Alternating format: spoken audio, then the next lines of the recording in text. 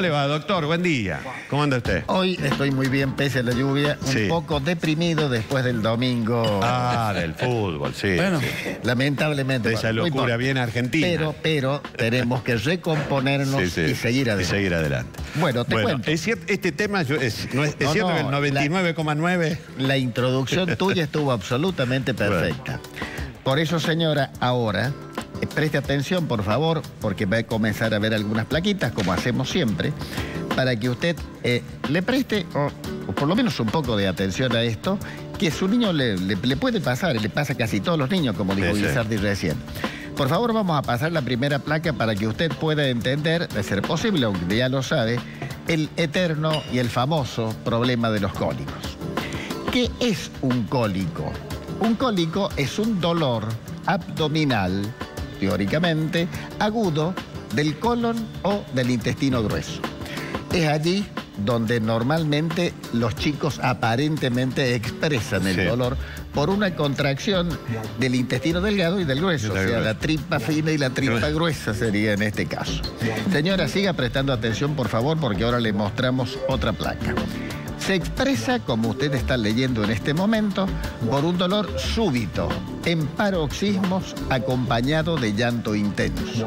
Su niño cambia su aspecto, grita, se pone mal, demás, y usted, por supuesto, lógicamente se preocupa. Uno siempre se preocupa cuando un niño Claro. llora. La próxima placa dice que es frecuente en lactantes menores de, me- de tres meses. De tres meses. Y no tiene aún una explicación satisfactoria. Claro. ¿Puedes creer? Hay libros de cólico. Sí. Libros de cólico que analizan un temita. Y vos sabés que la mayoría de la gente dice, o sea, cuando explica el, el tema, que, digamos, no puede saber la esencia íntima del cólico. Sí. ¿Por qué se presenta? ¿Por qué se...? Bueno, pero después vamos a ofrecer una explicación de por qué aparentemente la mayor parte de quienes han estudiado el problema se expresan por una versión. Pero uno si va al médico, por ahí te dan un medicamento. Le dan un medicamento, le echan la culpa a la leche. Eh, Está está lindísimo lo que estás diciendo. Vos sabés que justamente a raíz de esto que vos estás diciendo, es común. Por allí se usa medicamento personalmente, cuando muchas veces uno lo usa, lo usa como un placebo. Vos sabés lo Claro, que es un placebo. sí, sí, sí. Te doy algo que a lo mejor te hace bien e influyo en vos para que te haga bien. Claro. La mamá, acá tenemos una mamá muy joven todavía, con hijos jóvenes. eh, la mamá le transmite mucho de sus emociones y el papá también, Sí. por supuesto, hacia el niño. Y el niño, entre comillas, se contagia a veces de las emociones Claro. de quienes los rodea. Entonces, es muy común lo que dices vos, cambiar de leche. Sí. Yo siempre digo en mi querido hospital infantil, cuando hablamos del tema, que Córdoba debe ser la ciudad del mundo con más alérgicos a la proteína de la leche de vaca y Del los mundo. más intolerantes a la lactosa del mundo. Entonces, cualquier truc te meten la leche. Que para colmo, esas leches eh, son caras. Carísimas. Son muy caras. Carísimas. Y entonces, y normalmente no, porque el, el cólico tiene una forma de expresarse y una forma de final. Es lo mismo que los medicamentos. ¿Que se puede ensayar un medicamento? Sí, le podés dar. Que meten no hace absolutamente nada, como los famosos antiácidos, más Sí, sí. nombres propios, por supuesto. Pero vos le das y es como si el niño se mandase un traguito de una gaseosa, por Claro. decirte. Quizá le gusta el sabor, se calma dos segundos y luego llora las tres horas que debe llorar. Señora, síganos observando las placas, por favor, que ahora le vamos, le vamos a mostrar.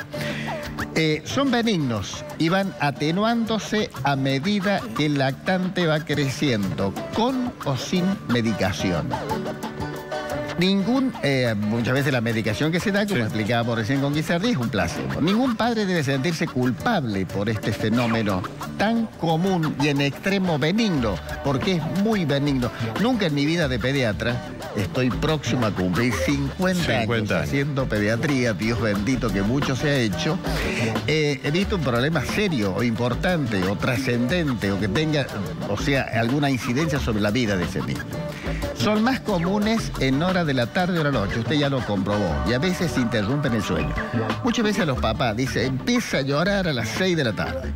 Entonces digo, señor, ¿usted qué hace esa hora? Estoy viendo la tele, una telenovela. Mire, deje la telenovela por un segundo, grábela si usted puede para que la pueda seguir viendo, póngale Netflix, Sí, no sí. sé cómo se llama.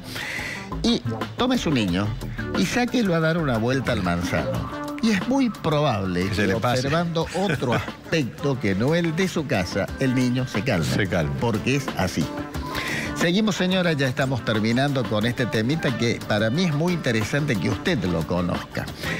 Eh, la mayoría de quienes estudian este benigno proceso concluyen que el mismo no es doloroso y que no se relaciona con ninguna falencia digestiva, ni alimentaria, ni patología severa.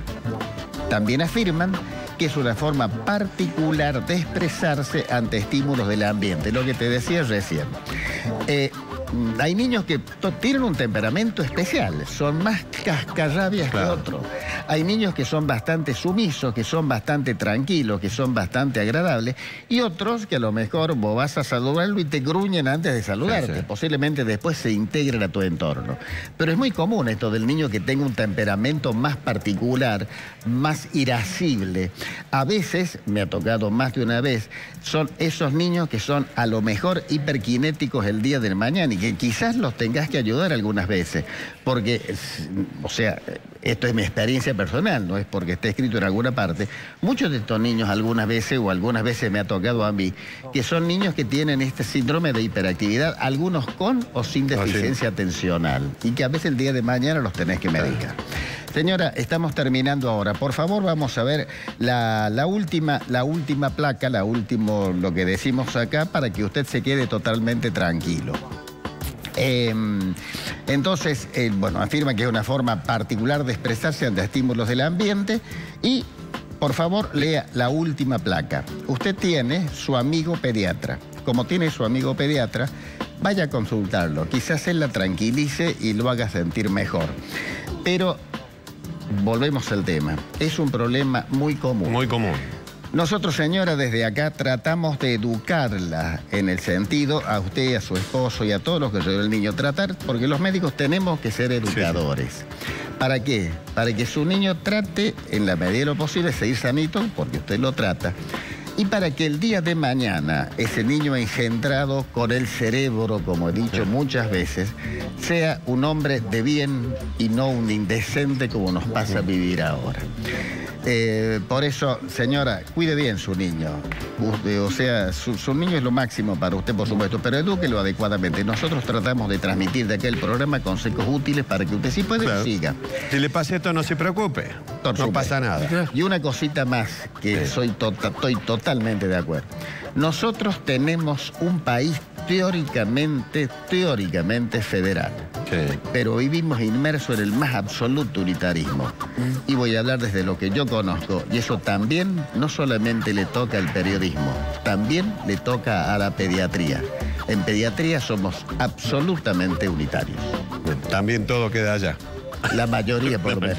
Gracias, doctor. nos vemos, nos vemos. Nos vemos.